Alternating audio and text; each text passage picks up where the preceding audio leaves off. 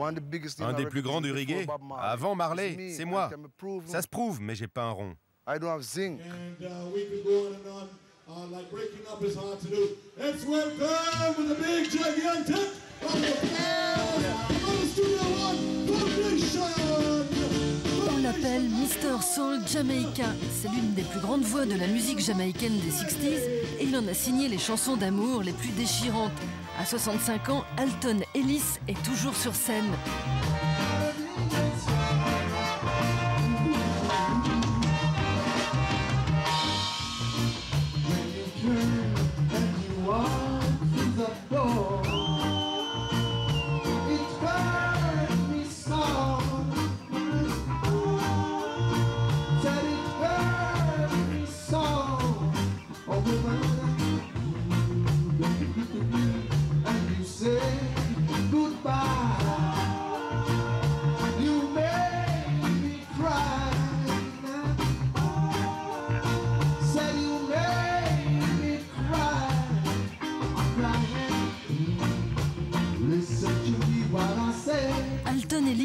Grandi dans la cinquième rue de l'un des plus vieux ghettos de Kingston, Trenchtown. C'est le berceau des grandes stars du reggae jamaïcain.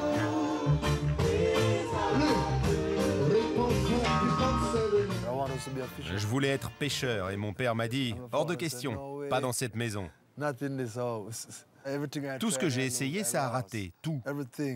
J'ai tenté le foot, j'y suis pas arrivé. could make it. J'ai essayé le cricket, j'y suis pas arrivé. Jusqu'à ce que je me mette à chanter. I said singing. Et la toute première fois que je suis entré en studio, j'ai été numéro un.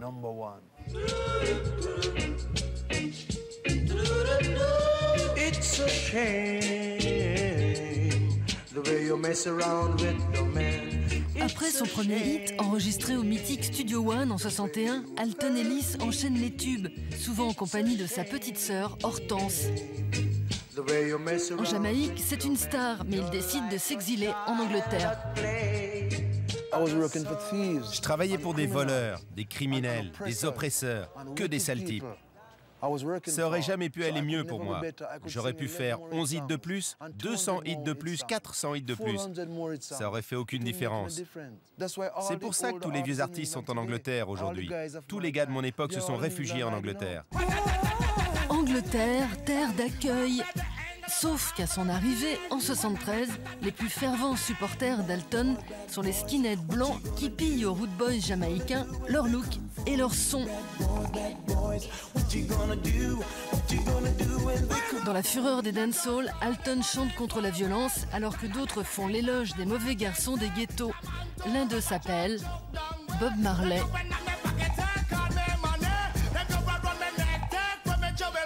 Les skins aimaient la musique, mais c'était la guerre en permanence.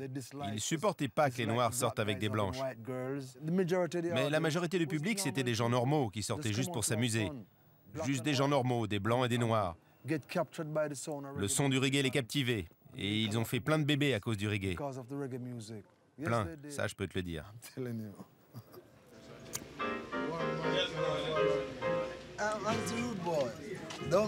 Prends pas ça au pied de la lettre, je suis anti-root boy. Toujours, tout le temps. À moins qu'il faille me défendre. Alors là, je suis un bad boy. Bad boy.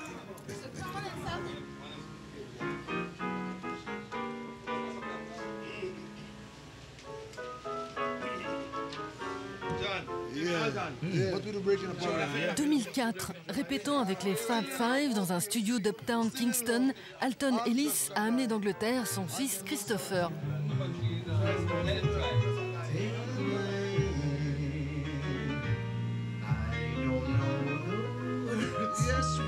Allez, chante ce que tu veux, mec.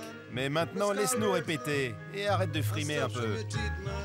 Allez, on répète.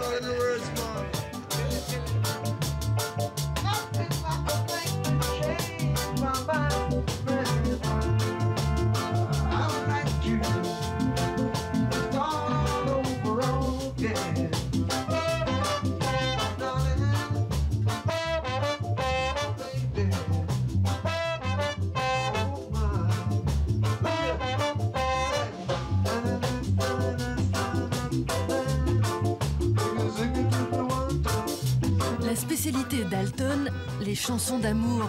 There's a woman in my life. Il y avait une femme dans ma vie. 40% de mes tubes ont été écrits pour elle.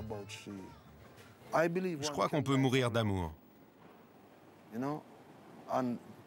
C'est pas qu'on s'arrête de vivre, mais les organes s'éteignent, simplement, comme des lampes.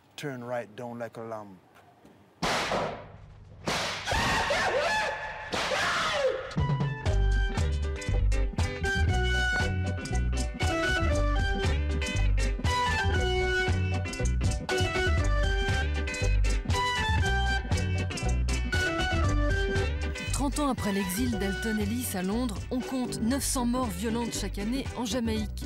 Dans le ghetto de Trenchtown, c'est toujours la guerre des gangs et pour le chanteur, aucun regret. Ouais, ils viennent vers moi et tout le monde est content de me voir. Ils sont gentils et accueillants. Mais derrière ça, ils veulent quelque chose d'autre. C'est pas 100% pur.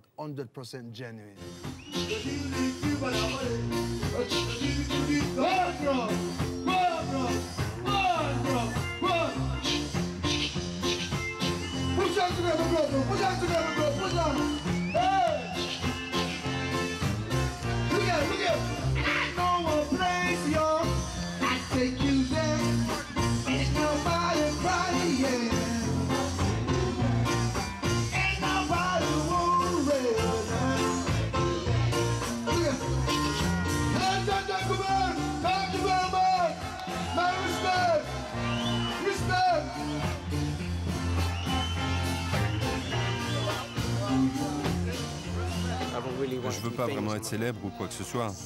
Je veux juste chanter. C'est ça mon rêve.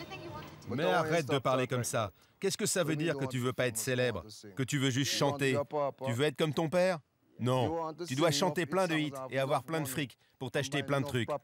Vire le reste de ta tête dès maintenant. T'as pas vécu ce que j'ai vécu. Je suis un grand nom, mais j'ai pas un rond. Dis plus jamais ça devant moi.